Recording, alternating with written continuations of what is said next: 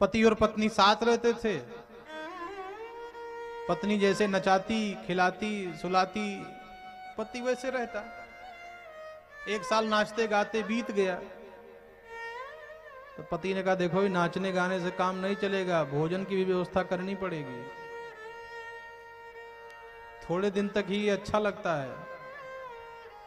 उसके बाद सब बेकार। इसलिए शादी में देखो, शादीशुदा आदमी एक भी नहीं नाचता, सब बिना शादी वाले ही नाचते हैं। कभी भी बारात में देखना, अब कोई पियक्कड़ हो तो अलग बात है, वो तो जनरेटर भी चले तो नाचने लगेगा। लेकिन प्रायः उसमें अविवाहित ही नाचते दिखते हैं, क्यों? जब से शादी हुई, तब से नाच ही तो रहे हैं। अब मन में सोच रहे हैं, बेटा, आज नाच लो, कल से तुम्हारा भी नाचना शुरू हो जाएगा।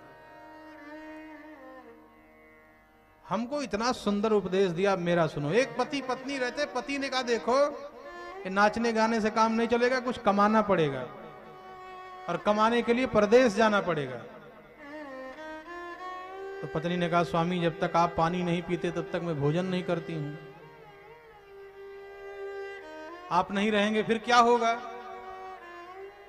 पति ने अपनी एक फ़ोटो दे दिया कि, लो, इसी को रखो और इसी की आरती, इसी की पूजा, इसी का भोग लगाकर और भोजन कर लेना। पति चला गया परदेश कमाने। अब पत्नी उसी की पूजा करती, उसी का पाठ करती, उसी का भोग लगाती, फ़ोटो को ही पति मानकर उसकी सेवा करती। दो साल बीत गया। पति लौट कर आया। पत्नी दरवाज़ा बंद करके अंदर कर रही है पूजा। और पति बाहर दरवाजे पे खड़ा होकर के खटका रहा है खिड़की। तो गोविंद बताओ, उस स्त्री को क्या करना चाहिए?